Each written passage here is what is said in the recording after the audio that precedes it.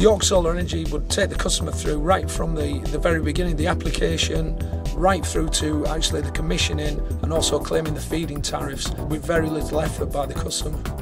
The first part is planning out where we're going to put your panels and how and then after that basically it's screwing the roof fixings on and how we do it is we fit some roof hooks under your tiles then we bolt the rails on after that it's uh, putting the first panels on getting those lined up and then the panels sort of all follow suit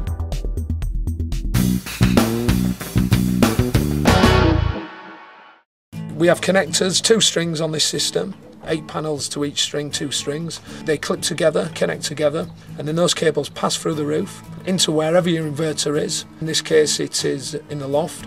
Once your inverter is fitted in the loft, we then run a cable from the loft down to your fuse board. Near your fuse board, we then fit an electricity meter, which then tells you what you've generated. Your inverter converts the DC current to AC and back into the grid.